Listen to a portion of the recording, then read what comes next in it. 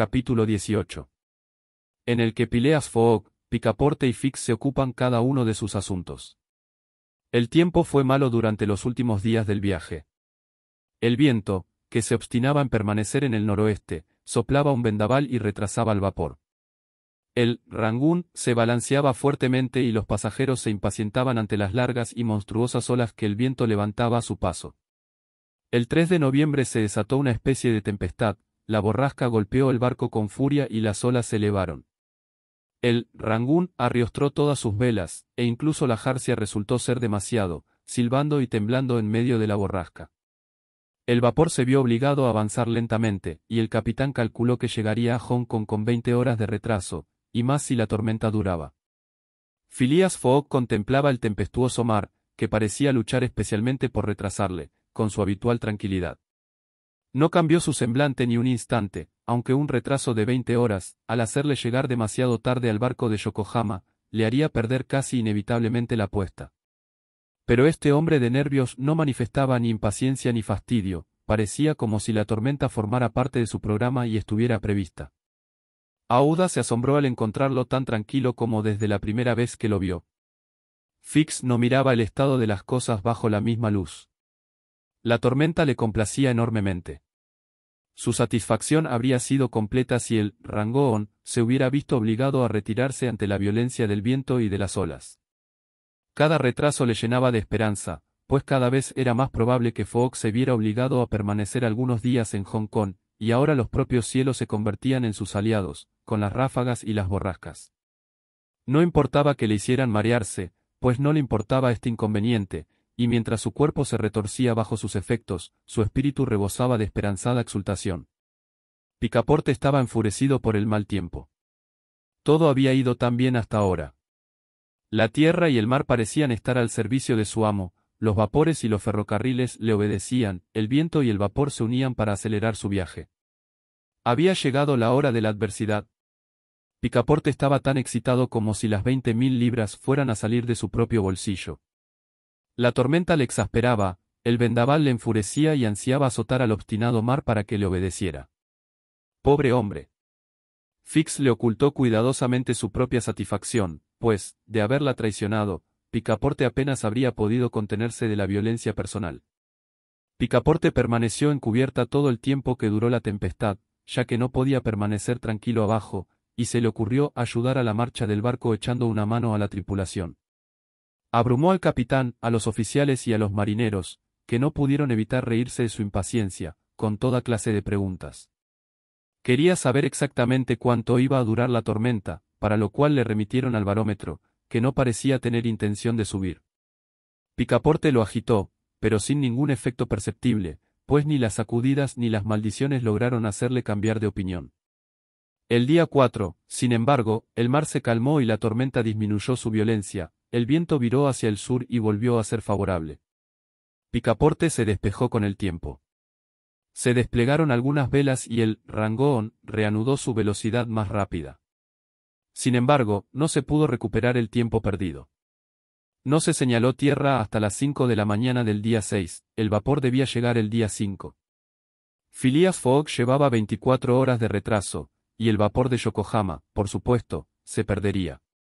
El piloto subió a bordo a las seis, y ocupó su lugar en el puente, para guiar al Rangoon por los canales hasta el puerto de Hong Kong. Picaporte deseaba preguntarle si el vapor había partido hacia Yokohama, pero no se atrevía, pues quería conservar la chispa de esperanza que aún le quedaba hasta el último momento. Había confiado su angustia a Fix, quien, sin vergüenza, trató de consolarle diciéndole que el señor Fogg llegaría a tiempo si tomaba el próximo barco, pero esto no hizo más que poner a Picaporte en un apuro. El señor Fogg, más audaz que su criado, no dudó en acercarse al piloto y preguntarle tranquilamente si sabía cuándo saldría un vapor de Hong Kong hacia Yokohama. Con la marea alta, mañana por la mañana, respondió el piloto. Ah, dijo el señor Fogg, sin traicionar su asombro. Picaporte, que oyó lo que pasó, habría abrazado de buena gana al piloto, mientras que Fix se habría alegrado de retorcerle el cuello. ¿Cómo se llama el barco de vapor? preguntó el señor Fogg. El Carnatic. Punto. ¿No debería haber ido ayer? Sí, Señor, pero tuvieron que reparar una de sus calderas, y por eso su salida se pospuso hasta mañana. Gracias, respondió el señor Fogg, descendiendo matemáticamente al salón. Picaporte estrechó la mano del piloto y la estrechó con entusiasmo, exclamando, Piloto, eres el mejor de los buenos compañeros. El piloto probablemente no sabe hasta hoy porque sus respuestas le valieron este saludo entusiasta. Volvió a subir al puente y guió el vapor a través de la flotilla de juncos, tancas y barcos de pesca que abarrotan el puerto de Hong Kong. A la una, el Rangoon estaba en el muelle y los pasajeros desembarcaban. El azar había favorecido extrañamente a Phileas Fogg, pues si el Carnatic no se hubiera visto obligado a hacer escala para reparar sus calderas, habría partido el 6 de noviembre, y los pasajeros del Japón se habrían visto obligados a esperar durante una semana la salida del siguiente vapor. Es cierto que el señor Fogg llevaba 24 horas de retraso, pero esto no podía poner en peligro el resto de su viaje. El vapor que cruzaba el Pacífico de Yokohama a San Francisco hacía una conexión directa con el de Hong Kong, y no podía zarpar hasta que éste llegara a Yokohama, y si el señor Fogg llevaba 24 horas de retraso al llegar a Yokohama, este tiempo sería sin duda fácilmente recuperado en el viaje de 22 días a través del Pacífico. Se encontró, pues, con 24 horas de retraso, 35 días después de haber salido de Londres. Se anunció que el Carnatic saldría de Hong Kong a las 5 de la mañana siguiente. El señor Fogg disponía de 16 horas para ocuparse de sus asuntos allí, que consistían en depositar a Uda a salvo con su rico pariente. Al aterrizar, la condujo a un palanquín, en el que se dirigieron al Hotel Club. Se reservó una habitación para la joven, y el señor Fogg, tras comprobar que no le faltaba de nada, partió en busca de su primo GG. Dio instrucciones a Picaporte para que se quedara en el hotel hasta su regreso, para que Auda no se quedara completamente sola. El señor Fogg se dirigió a la bolsa, donde no dudaba que todo el mundo conocería a un personaje tan rico y considerable como el comerciante Parsi. Al encontrarse con un corredor de bolsa, se enteró de que GG había abandonado China hacía dos años, y que, retirándose de los negocios con una inmensa fortuna, había fijado su residencia en Europa, en Holanda, pensó el corredor, con los mercaderes de este país, con los cuales había comerciado principalmente. Phileas Fogg volvió al hotel, pidió un momento de conversación con Aouda, y sin más preámbulos le informó que GG ya no estaba en Hong Kong, sino probablemente en Holanda. Al principio, Aouda no dijo nada. Se pasó la mano por la frente y reflexionó unos instantes.